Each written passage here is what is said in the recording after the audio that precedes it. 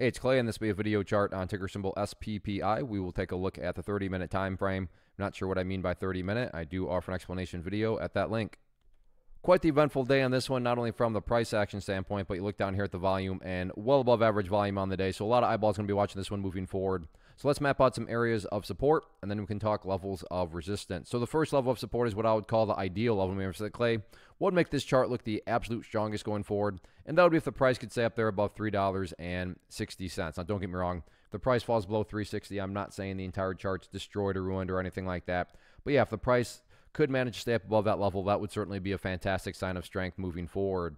Taking a step back and looking at all this from the bigger picture point of view, that is where the purple line there comes into play, the 50 period simple moving average. Keyword certainly being moving. So as time goes by, that line is going to move itself higher and higher and get more and more relevant, which is helpful because when it comes to gauging the health of the move, that right there being defined as the move, just watch that purple line. As long as the price stays above that line, as the line itself moves higher and higher, then the bulls are in full health, the bulls are in full control. How you can best visualize that, that is what is being represented. Again, sure, staying above 360 would be great. But from the grand scheme of it all, as long as the price is above that purple line, the bulls 100% own the chart. In terms of levels of resistance, main battleground to watch moving forward, going to be just right up there at that round number of $4.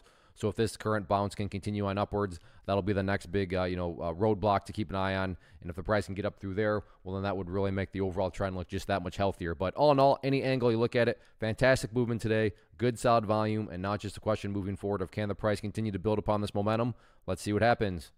First off, thanks so much for watching the entire video. Real quick, before you go, I want to invite you to a live webinar, web class, training, workshop, online event whatever you want to call it, but it will be me live revealing to you what I've discovered that has allowed me to transform myself from being an employee to being my own boss, including how I had only one losing day out of 73 days in total. I'm going to cover three keys that have helped me unlock profitable consistency within the markets. The first key is super weird, but in a productive type of way. The second key is super awesome because it quite literally is wired into our DNA as humans, making it very easy to use. But in a cruel way, this becomes a pitfall for many traders. I'll explain it all though, including how to avoid the pitfall that it creates for some.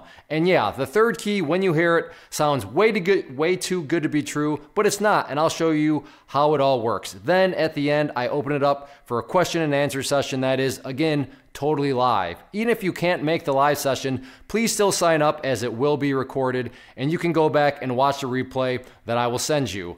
Click the image on the screen or click the link down in the description box so you can get the date and time and claim your spot, which I should note is limited due to the fact that this truly is a live event. If you have any questions, let me know. If not, I'll be seeing you soon.